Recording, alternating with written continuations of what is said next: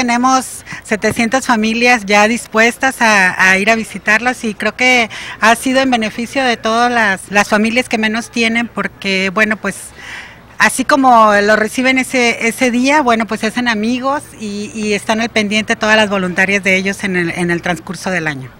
Por otra parte, la esposa del gobernador informó que la tradicional pista de hielo tendrá nueva ubicación este año, pues la loma es el lugar ideal para más sorpresas. Va a ser en beneficio de todos los nayaritas porque, bueno, es un gusto ir a visitar la loma, un lugar muy especial para todos los niños, ir a visitar a Santa Claus, subirse al trenecito en la noche con las luces y este y la pista de patinaje, creo que va a ser una Navidad muy especial para todos.